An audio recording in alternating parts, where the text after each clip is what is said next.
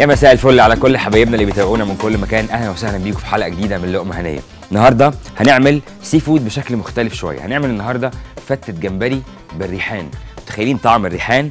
الريحة العطرية بتاعت الريحان الحلوة لما تبقى فتة جمبري معمولة بشوربة قشر الجمبري نفسه. طعمها حلو جدا. هعمل كمان النهارده صيادية. سهلة وسريعة جدا ومكوناتها غنية. فيها كمية جيدة من الخضروات. هتدي طعم حلو قوي وريحة حلوة جدا. كمان النهارده هعمل فيليه قشر بياض بالحبهان واللوز. هنشوف ده هيتعمل إزاي بالظبط. هنشوف المقادير وهنشوف الخطوات. كل ده هنعرفه بعد ما نرجع من الفاصل. استنونا.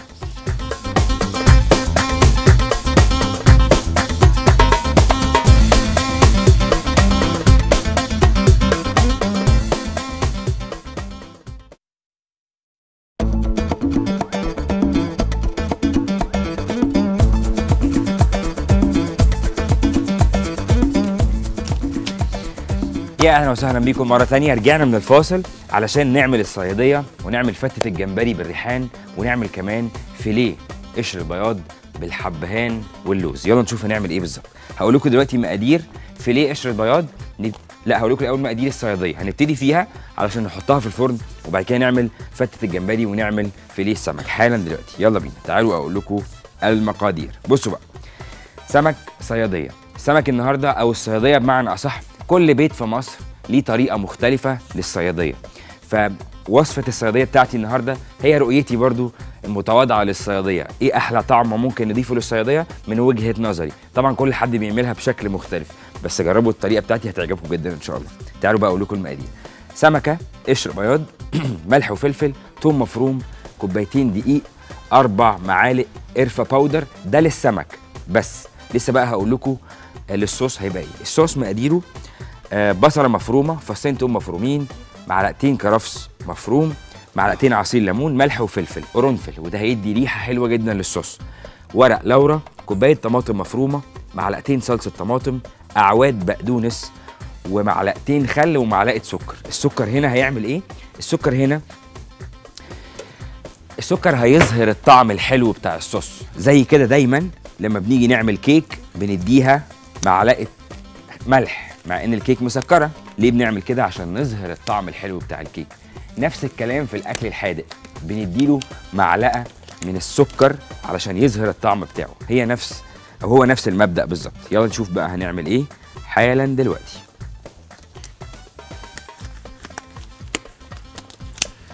هاجي هنا. هجيب تعالوا بقى نبعد ده سنة. ونيجي هنا. نجيب سكينة. والسمكة دي إحنا قبل كده مرة عملنا آه الفيليه ده بس عملناه بسمك مخلي. جبت سمكة قشر بياض وخليتها وعملناه سوا. النهاردة مش هعمل كده. النهاردة السمكة عايزها كاملة زي ما هي كده بس أنا هقطع فيها تقطيع وهقول لكم حالا ليه.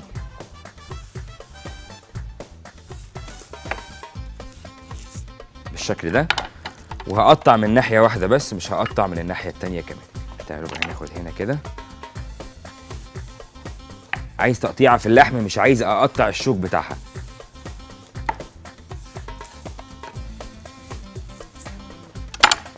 التانية بالشكل ده. وبعدين هجيب بولة حلوة كده. وهاجي هنا هحط فيها الدقيق. وشويه كده من القرفه الباودر وملح وفلفل.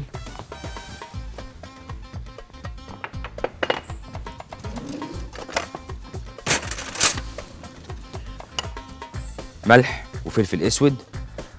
ده للسمكة نفسها. ندي كده تقليبة.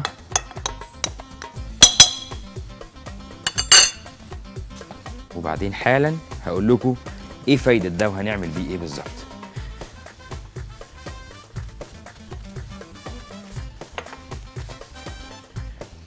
هاجي هنا هجيب السمكاية وهبتدي أرش عليها دقيق خفيف كده وأعمل بإيدي كده من على الناحية دي وأقلبها هنا. أنا عايز طبقة رقيقة جدا من الدقيق. ده دقيق بقى بالقرفة بالملح والفلفل هيدي ريحة حلوة للسمكيه نفسها قبل ما يبقى صوص حتى. بعدين آخد دي هنا. شايفين طبقة رقيقة جدا إزاي؟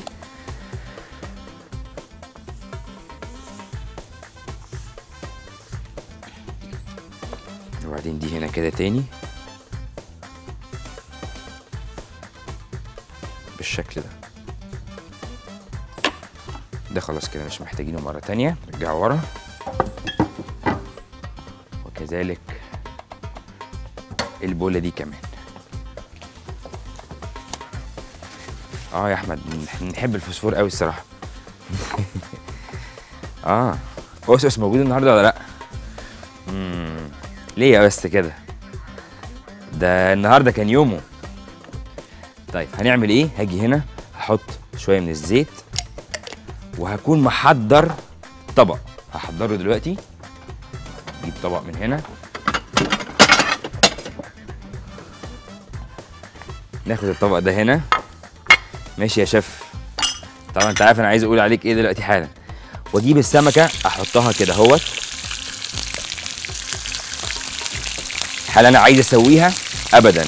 أنا عايزها تاخد ريحة التشويحة وهمسكها من ديلها كده حالا أقلبها على الناحية التانية.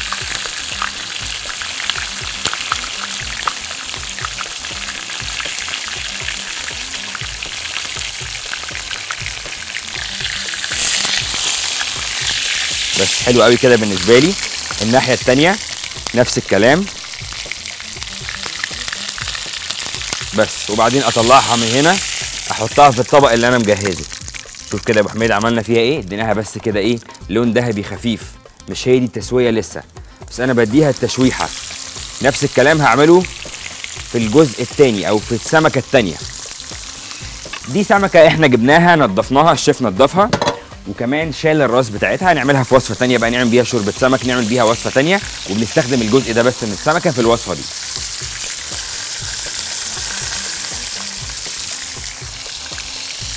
بصوا بقى أنا دلوقتي عايز أعمل صوص حلو. صوص آه مسبك وجميل للصيادية. الصوص ده هعمله في مكان تحمير السمك لأن الصوص ده بقى ريحته دلوقتي آه سمك وفي نفس الوقت ريحته قرفة لأن أنا كنت حاطط قرفة في الدقيق اللي أنا حاطه على السمك. تعالوا بقى كده نبص عليها بصة. نقلبها قلبة. الله على اللون الجميل. برضو هنا لحظات كده على النار. بس كفاية قوي كده. خدت اللون اللي أنا محتاجها تاخده. برضو يا أبو حميد تعالى نبص عليها. السمكة دي كده لسه ما استوتش. السمكة دي بس اتشوحت. خدت ريحة وخدت لون حلوين جدا. نيجي بقى دلوقتي نشوف إيه بقية المكونات وهنعمل إيه بالظبط. يلا بينا. هاجي هنا في نفس الطاسة دي اللي فيها ريحة السمك. وفيها تشويح السمك وفيها شوية من الدقيق. هعمل إيه؟ جاي هنا بقى. بالسباتولا. هنزل بالبصل. وأديله تقليبة كده. ياخد بقى كمان من قطع السمك اللي اتقطعت الصغيرة وحتة من الجلد كده تتحمص وتتقرمش وتبقى آخر طعامه. وبعدين هجيب التوم. المفروم. تقليبة.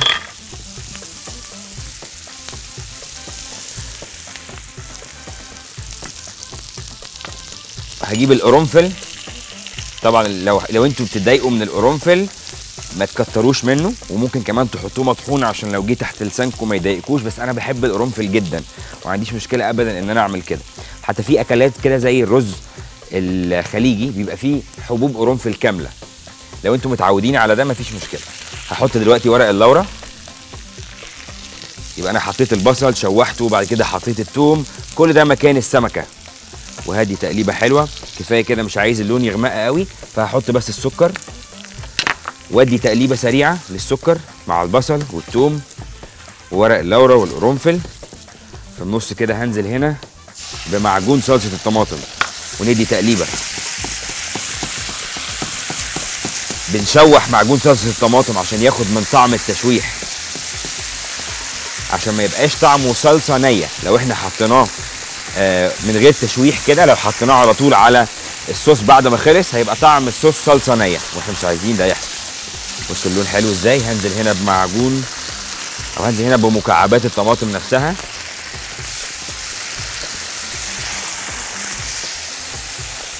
وبعدين دلوقتي هنزل بالكرفس.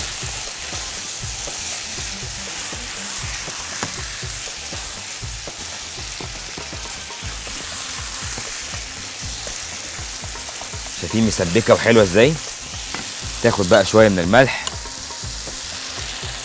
شوية من الفلفل الأسود تقليبة كمان.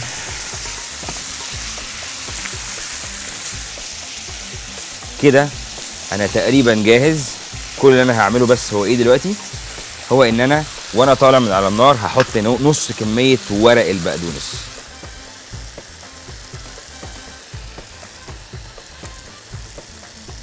هطلع من على النار أحط البقدونس وادي تقليبة.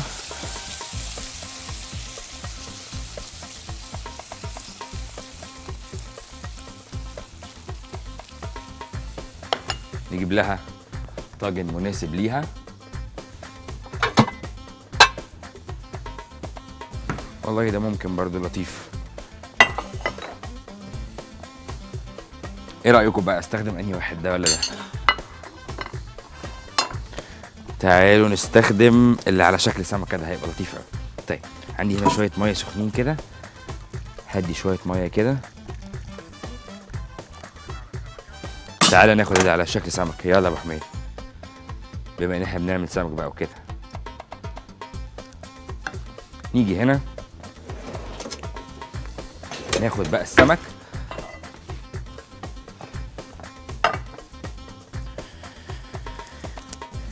السمكة دي زي ما أنتوا شفتوا كده في البداية شوحناها. طعمها هيفرق جدا عن لو إحنا حطيناها نية. طعم كده يبقى أحلى بكتير. هاخد السمكية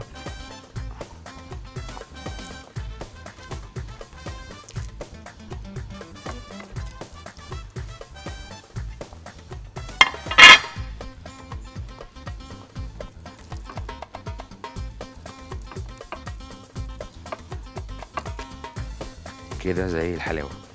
هاجي هنا بقى بالصوص العبقري ده وهنزل هنا كده.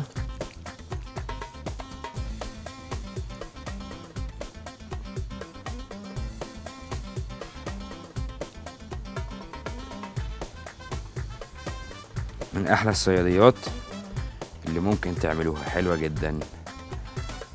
بس أنا كده خلاص خلصت. شايفين الحلاوة عاملة إزاي؟ أجي هنا بس كده اطمن من نظافة الطاجن قبل ما يخش الفرن. عشان هو في الفرن هيقعد يبكبك كده وأنا مش عايزه يوقع جوه الفرن عشان ما يعملش ريحة تدخين. ما يدخنش الاستوديو كله.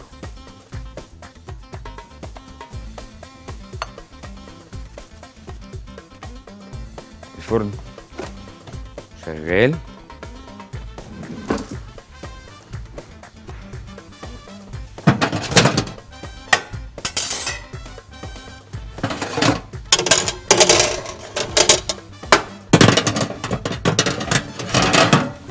بقى الطاجن ونحطه في الفرن على طول.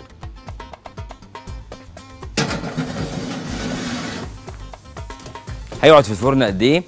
كفاية قوي 25 دقيقة 20 دقيقة كمان كفاية جدا درجة الحرارة تبقى 170 هيطلع مستوي طعمه حلو جدا والسمك مش هيطلع مستوي زيادة عن اللزوم لأن السمك زي الفراخ زي اللحمة في تسوية مظبوطة وفي تسوية زايدة بتخلي اللحم بتاعه ينشف. طيب أنا كده خلصت الوصفة الأولانية وهاخد فاصل دلوقتي بعد الفاصل هرجع هنشوف إزاي هنعمل السمك الفيليه وفتة الجمبري. استنوا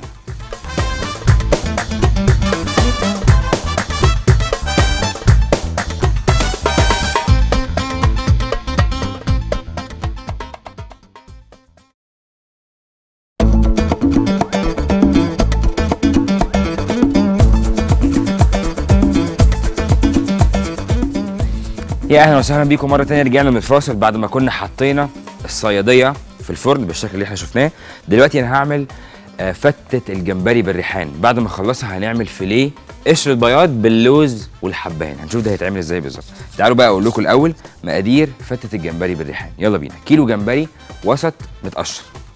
آه، رز أبيض مستوي. آه، عيش شامي محمص. آه، زبدة وتوم خل عصير ليمون ريحان مجفف وريحان فريش.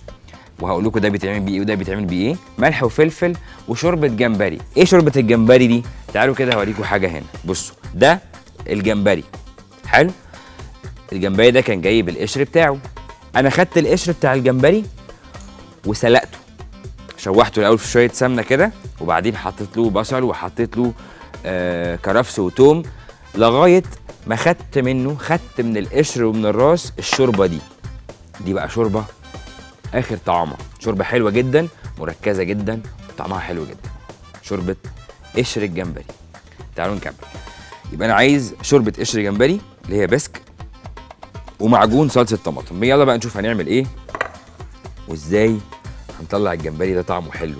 أهم حاجة في الجمبري إنه ما يفقدش الميه اللي جواه. أهم حاجة إن هو يفضل طري. ما ينفعش الجمبري يبقى مقرمش عامل زي الكاوتش كده. لازم يفضل طري وبيتمضغ بكل سهولة وكل بساطة. إيه اللي أنا هعمله دلوقتي؟ أنا تقريبا هحضر الوصفة دي ورا بعض مش هتاخد وقت خالص. تعالوا نشوف سوا هنعمل إيه. عايز بس أجيب هنا أطباق أطلع فيها وأنا شغال. وهوريكم حالا هنعمل إيه.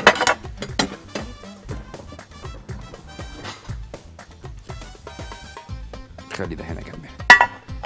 والملح والفلفل ناخدهم هنا. يلا بينا. أول حاجة هعملها هي إن أنا هجيب شوية من الزيت.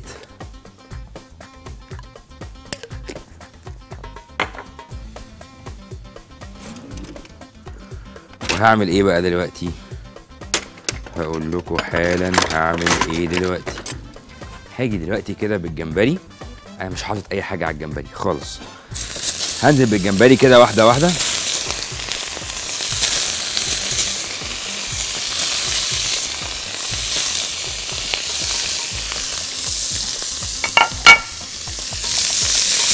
واديله تقليبة سريعة.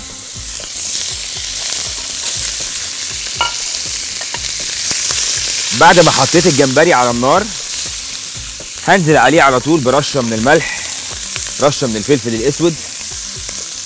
وبعدين هاجي هنا أجيب الثوم. هنزل بالثوم وشوية من الريحان المجفف. وبعدين هحط دلوقتي الزبدة.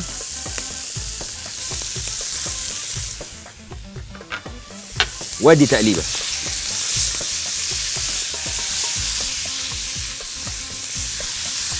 الجمبري بيستوي في ثلاث دقايق على النار مش أكتر من كده. لو طولنا عن كده الجمبري هيبقى مستوي زيادة عن اللزوم وهتبقى تسويته مش حلوة. شايفين لونه حلو إزاي؟ أنا مش عارف أنتوا شايفين ولا الدخان مش مخليكوا شايفين كويس. صح؟ حالا هطلعه من على النار لأن هو فاضل له لحظة ويكون استوى. حالا دلوقتي. الصوص اللي تحتيه ده حكاية. الجمبري استوى. تخيلوا؟ خدش وقت خالص. هجيب هنا الطبق ده وأروح ماسك الجمبري كده أهوت وننزله هنا في الطبق. ممكن بقى وحميد كده نجيب الجمبري الخطير اللي استوى خلاص ده. هنا في نفس الطاسة دي هعمل إيه؟ هاجي هنا هضيف شوية صغيرين من الزيت.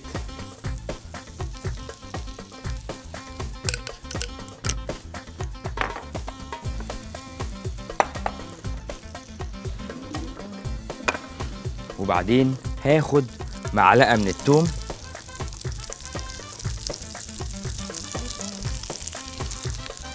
تشويحة سريعة.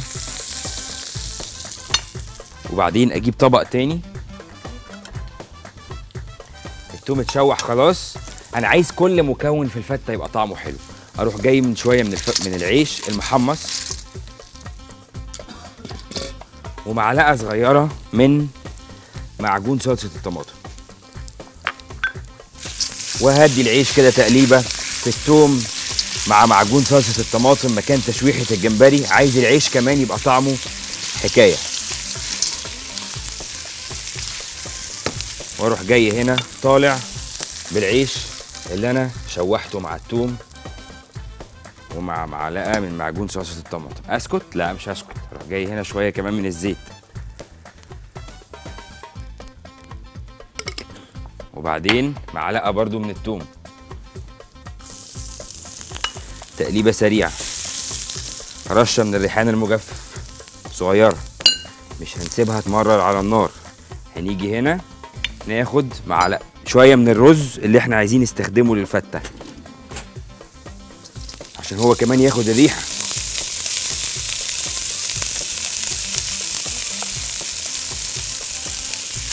يلا بينا. تقليبة لطيفة سريعة. لغاية ما ياخد من ريحة التوم وريحة الريحان. شايفين التوم بقى لونه ذهبي إزاي في الخلطة؟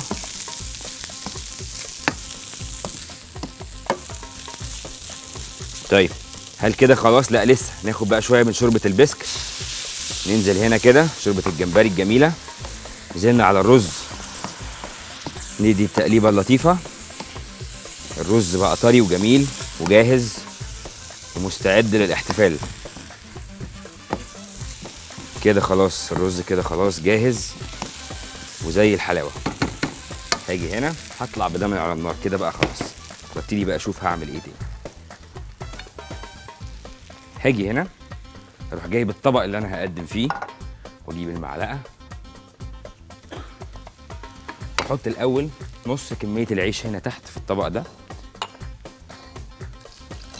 ده العيش المحمص. اللي عليه إيه؟ اللي اتشوح مع شوية حلوين كده من التوم والريحان. وانزل هنا كده بالرز الجميل ده. رز كده بتشويحة التوم والريحان.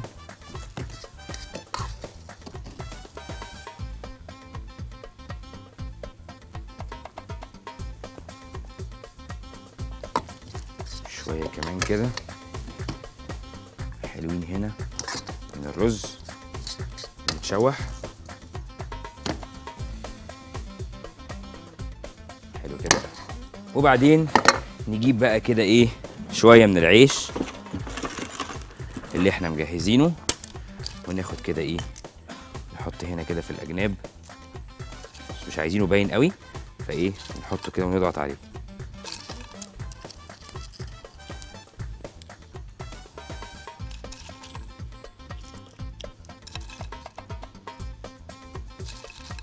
إحنا هنا ما عملناش صلصة ليه؟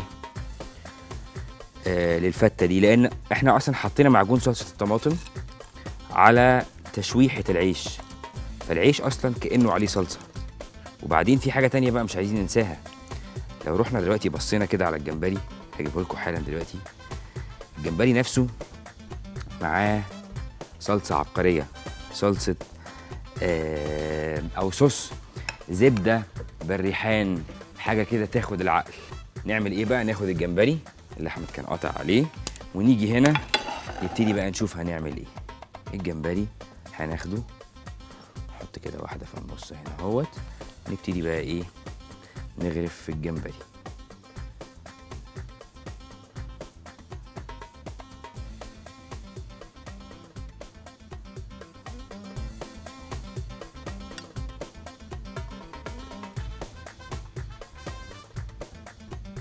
سهلة جدا وأعتقد إن أنتوا بسهولة إن شاء الله في البيت تقدروا تعملوا ده مش محتاج أي حتى معدات غريبة. الموضوع كله يعني إيه سهل. هو بس الجمبري غالي شوية بس إحنا ما بنعملوش كتير برضو يعني كل فين وفين كده. لما ربنا بيكرمنا بنعمل شوية جمبري.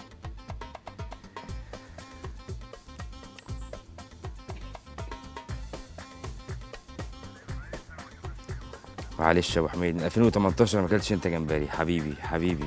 معلش معلش. ربنا معاك. طيب هعمل إيه؟ مش هنسكت برضو لسه في حاجة هنعملها تاني. هناخد شوية كده من الزبدة اللي بالثوم الجميلة دي. شوية كده زبدة بالثوم هنا. ننزل شوية من الزبدة.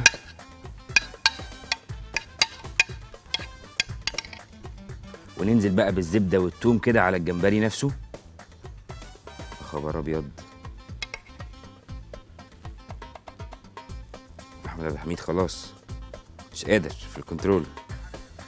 صح؟ وشوية بقى على الجمبرية اللي فوق دي شوية صغيرين كده على الرز هنا بس كده مش محتاجين أي حاجة تاني. يعني إيه؟ كفاية قوي كده. طبعا بقيه الجمبري أنتوا بتبقوا عارفين دايما أنا بعمل فيه إيه بعد ما نخلص الحلقة.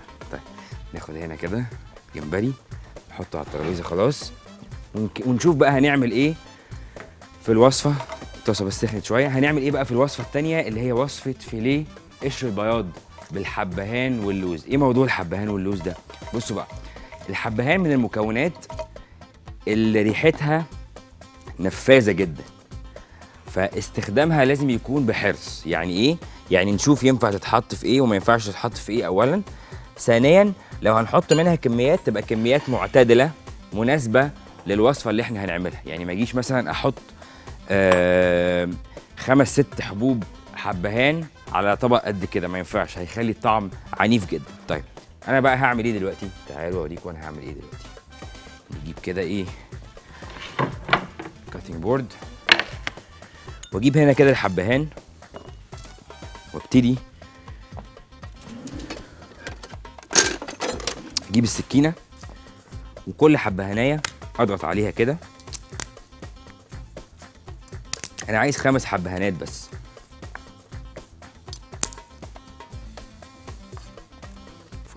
كمان يلا بينا خلاص مش عايز دول. هعمل إيه بقى؟ هنزل بذور الحبهان نفسها. يا رب تكونوا شايفين. ومش عايز الأخضر في الوصفة دي يعني.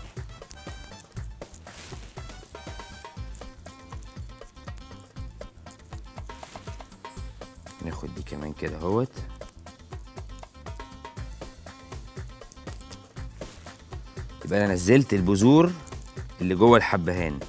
مش عايز بقى حاجة تاني غير كده. هاخد دول كده اهوت.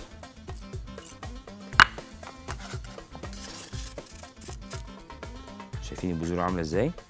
وهنزل بيها هنا اهو. بقى عندي بذور الحبهان اهي وعندي اللوز اهو والثوم ورشة من الدقيق. تعالوا بقى نشوف هنعمل إيه تاني. يلا بينا. نرجع ده ورا مش محتاجينه لنا طبق تاني لطيف ظريف كده.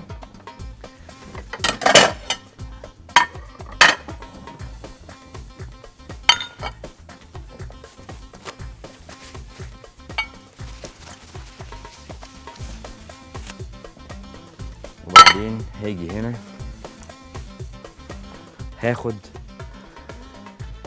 واحدة من الفيليه أحطها هنا كده. واخد رشة من الملح رشة من الفلفل. ونقفل تاني كده. رشة من الملح ورشة من الفلفل. وبعدين نقلبها نحطها هنا اهو. ناخد التانية. فيليه قشر بياض. رشة من الملح رشة من الفلفل الأسود. نقلبها. نفس الكلام نفس الكلام. آخر واحدة.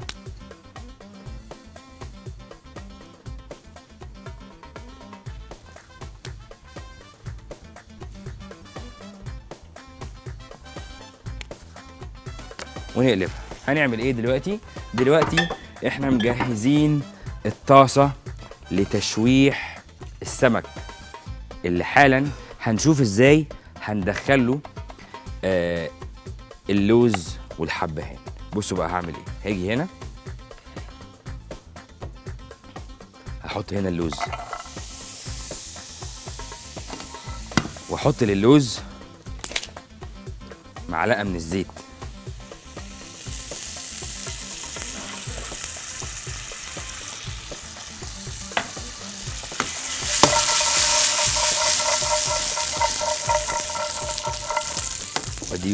كده.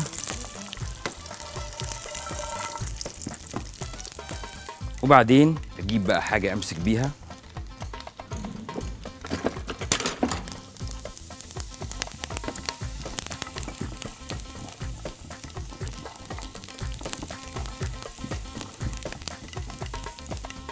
واجي هنا ارش رشة صغيرة من الدقيق على السمك رشة صغيرة قوي.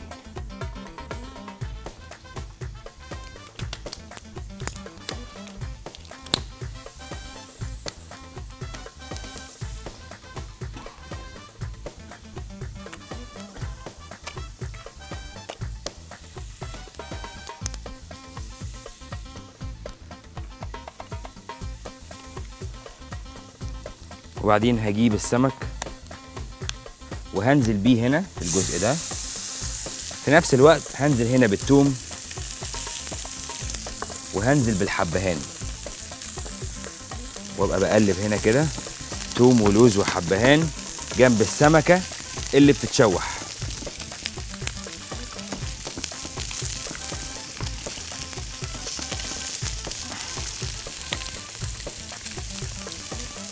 كده الطاسة خدت ريحة اللوز والثوم والحبهان. هطلع بقى اللوز والثوم والحبهان حالا دلوقتي.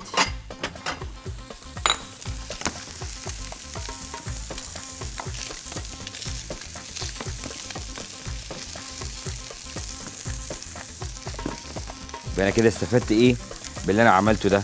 حطيت الثوم واللوز والحبهان نزل اولا يتشوحوا ثانيا نزلوا ريحتهم الجميلة فالسمك كده هيبقى متشوح بريحة الثوم واللوز والحبهان. هاجي هنا هحط قطعة تانية من السمك ونطلع فاصل نرجع من الفاصل نشوف أخبار السمك اللي إحنا بنشوحه إيه. استنوا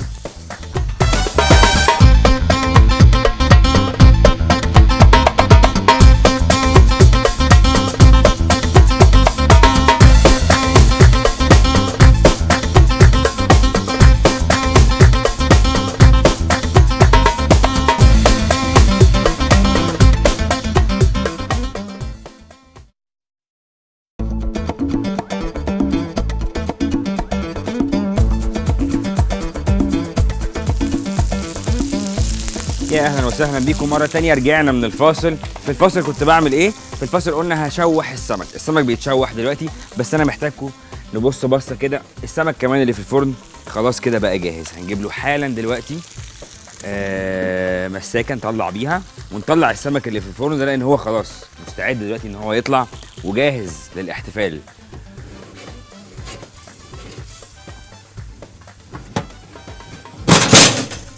امسك نفسك. يلا بينا. انقذناه الحمد لله خلاص. وبعدين دلوقتي ناخد السمك كده. شايفين طاجن كده شكله إيه؟ يرد الروح. حلو قوي. هعمل إيه بقى تاني؟ إحنا خلاص قدمنا فتة الجمبري بالريحان وشفنا شكلها عامل إزاي. هنحط لها بس ورقتين ريحان دلوقتي كده فريش يدوا ريحة حلوة. وكمان طاجن السمك الصيادية جاهز اهو خلاص ومستعد. ممكن بس نشيل ورقة اللورا دي. علشان مش هتتاكل. يلا. بس هنسيب زي ما هو كده. ده طاجن السمك وده فتة السمك فتة الجمبري. هعمل إيه بقى دلوقتي؟ هطلع دلوقتي حالا السمك الفيليه. قبل ما أعمل كده بس هقول لكم إن أنا محتاج أضيف آه ورق بقدونس ولسه عندي هنا لسه عندي هنا اللوز المحمص مع الثوم والحبهان اللي مدي أصلا ريحة حلوة. السمكية دي لسه عليها شوية شايفين من جوه لسه لونها محمر. دي خلاص كده استوت وبقت زي الفل. هعمل إيه؟ هاجي هنا.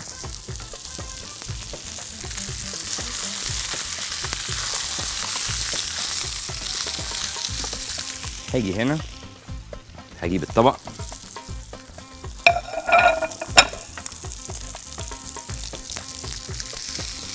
وهجيب السمكية كده اهو.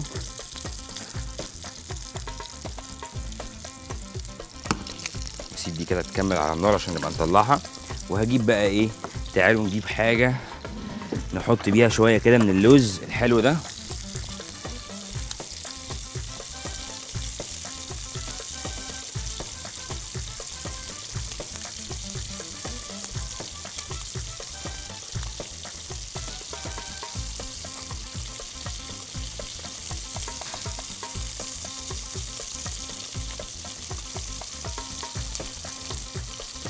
الطبق ده كمان عارفين ممكن نحط فيه إيه؟ ممكن نحط شوية من الجمبري اللي إحنا عاملينهم ومجهزين يلا بينا.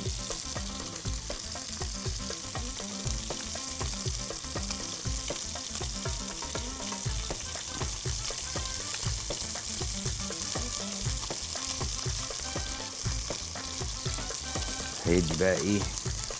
طعم وريحه آخر حلاوة.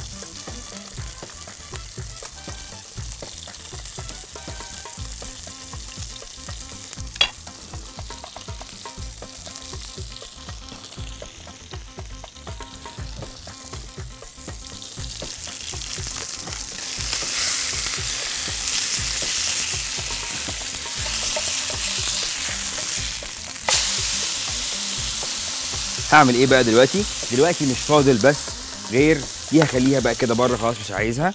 إيه اللي أنا هعمله دلوقتي؟ أنا كده قدمت الثلاث أطباق.